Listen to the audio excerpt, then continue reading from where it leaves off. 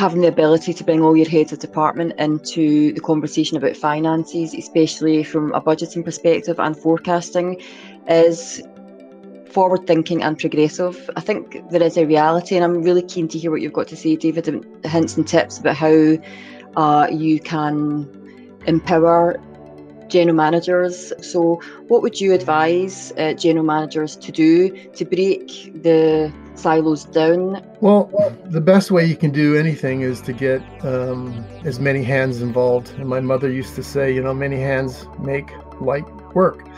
And when it comes to the budget or the forecast, if I'm that uh, housekeeper and I actually put together my budget and my forecast, and I battle my way through that, and it gets approved at the end of the budget cycle. And then next year, every month, I'm responsible for delivering on the forecast, the rolling forecast. Then I have ownership around that.